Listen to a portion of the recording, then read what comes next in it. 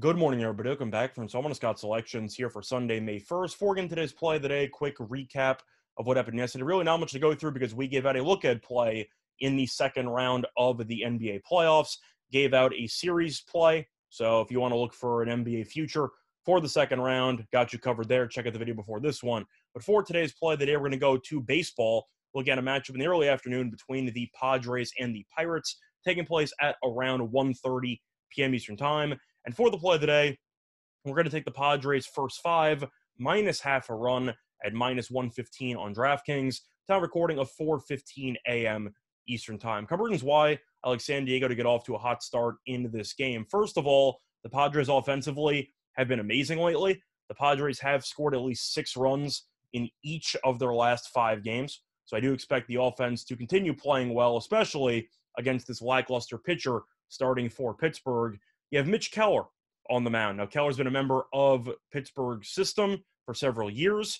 He was supposed to be a pretty good prospect. The issue is he's been awful every year he's been on the team. You look at the numbers this year, not much different. Keller, so far this season, has pitched 17 and two thirds innings, and he has a 6.62 ERA. To make matters worse, his numbers are even worse at PNC Park. So I expect him to struggle once again in the early going against the Padres. Plus, to go through his career numbers against San Diego's active batters, they are not very good. San Diego's active batters have had 36 career plate appearances against them, and they have an on base percentage of 467. In other words, Keller struggles to get the batters out about half the time, and I do expect that to result in a pretty decent beginning for the Padres offense, probably scoring three runs in the first five. But to go through the pitching uh, for San Diego, they have a really good pitcher on the mound because Joe Musgrove is on the mound, and he's been really good this season. So far, he's had 25 innings pitched and a 2.16 ERA.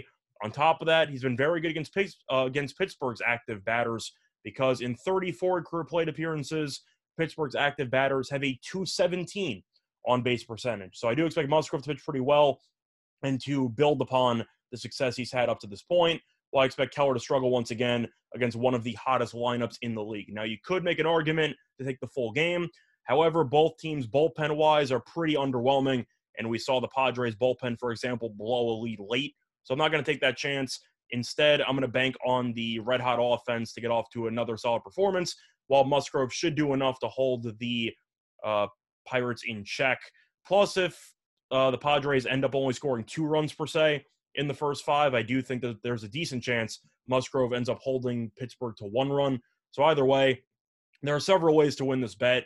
Either Musgrove pitches well or San Diego's offense explodes, and I expect one of those to happen in this matchup. Plus, if you want to compare lines, minus 115 is a very good price because you can find the exact same bet at minus 130 right now on BetMGM. I do expect a lot of money to come in on San Diego going into this game. So I do think you'll end up seeing this line probably close around 130, 135, minus 115 with the much better pitcher and the much better offense is definitely good value to me. So I'm going to take it. Split it once again here for Sunday, May 1st. It's going to be on the Padres first five, minus half a run at minus 115 on DraftKings. Bye, everyone.